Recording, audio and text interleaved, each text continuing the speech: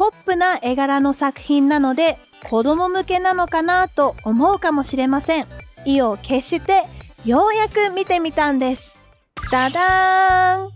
エネコだよ今回私が紹介する作品はミッドナイトゴスペルです。ネットフリックスでは様々なアニメを見ることができますが、そんな中でもひときわ異彩を放っている本作。一見するとポップな絵柄の作品なので子供向けなのかなと思うかもしれません。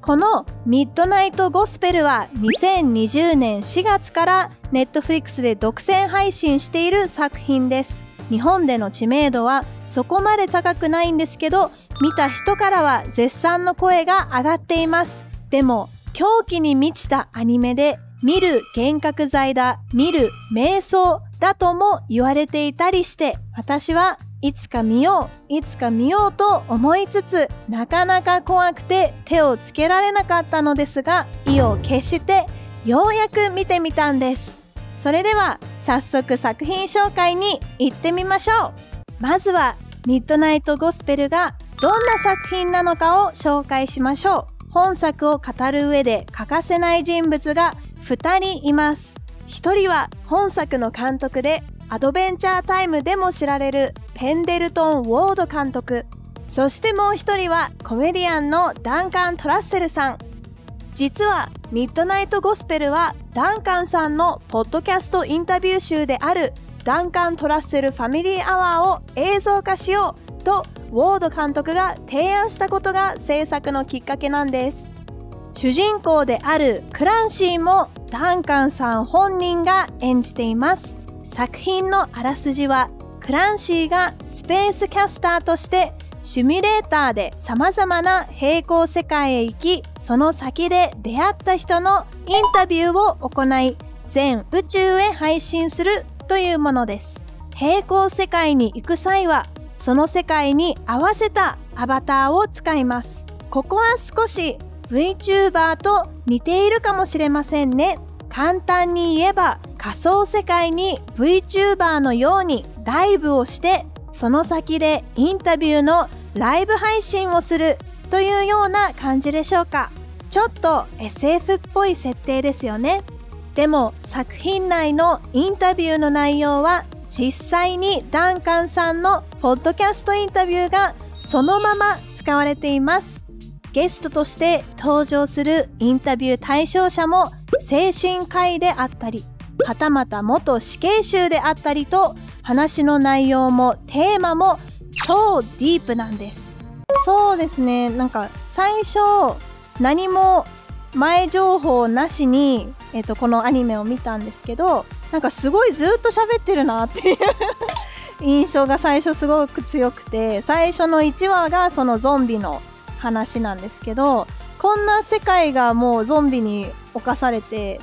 周りバンバン人が倒れているのにずっと喋ってるな、まあ、その後にちょっといろいろ調べてポッドキャストなんだっていうことを知ってあこのアニメはこのポッドキャストの音源に合わせて作られたものなんだちゃんと情報を知ったらすごく受け入れやすくなってでそれでちゃんとなんか楽しめた印象がすごいありますね。私が一番好きなキャラが、えっと、その第1話で主人公のペットになるシャーロットっていうワンちゃんなんですけどそのシャーロットっていうワンちゃんがなんかお腹があのブラックホールになってていろんなものをなんか吸い込むんですよ。でそんな子がなんか連れて帰られてペットになっちゃうんだっていうのが可愛いなって思ったポイントです。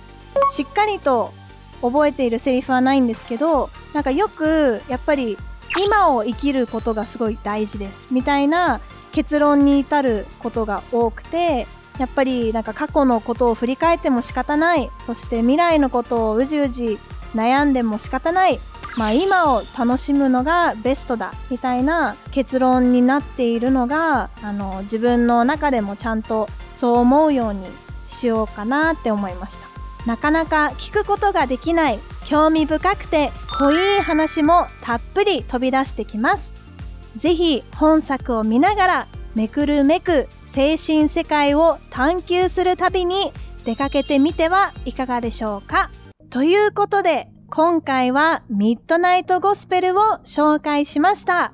アニメ作品数あれど、本当に他に類のない非常に特殊な作品となっています。私もたくさんアニメを見てきましたが、世界にはまだまだこんな作品があるんだと、アニメの新しい可能性すら感じた作品でした。どうしてもアニメは好きなジャンルに偏って見てしまいがちです。でも、これまでに見たことがないアニメが見たいなぁと少しでも思っているあなた今すぐネットフリックスでミッドナイトゴスペルと検索しましょう。ぜひ感想などもコメント欄やツイッターに投稿してくれると嬉しいです。